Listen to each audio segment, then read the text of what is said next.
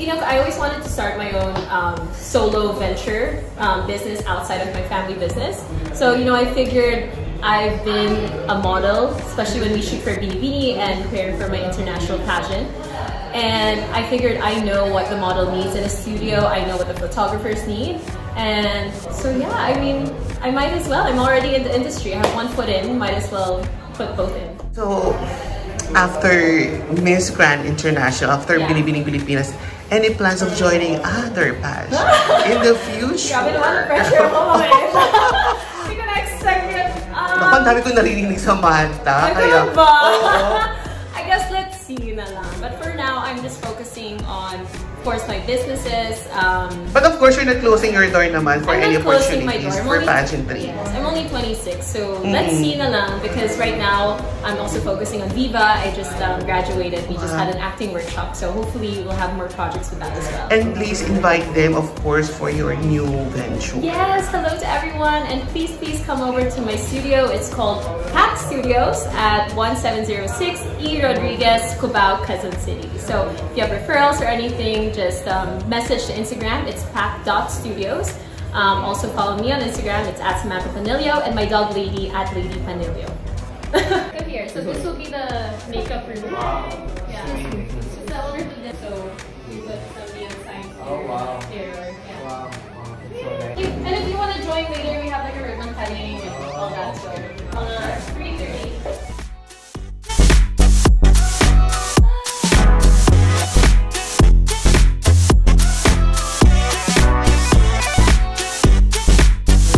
Congratulations, Sampan, for Pack Studios.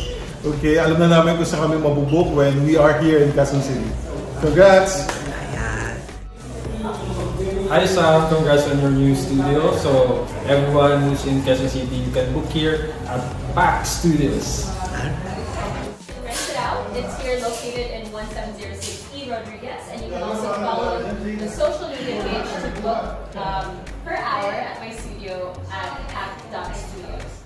Juggle all of these, all of these things simultaneously, right? Yes, Jason. So busy. You don't even know. It's like in the morning I'm do I'm working